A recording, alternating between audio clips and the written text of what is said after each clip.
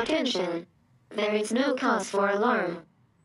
The low-flying airplane seen over the community today was not a threat.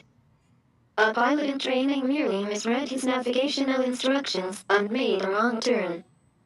He apologizes for any alarm he may have raised. Needless to say, he will be released.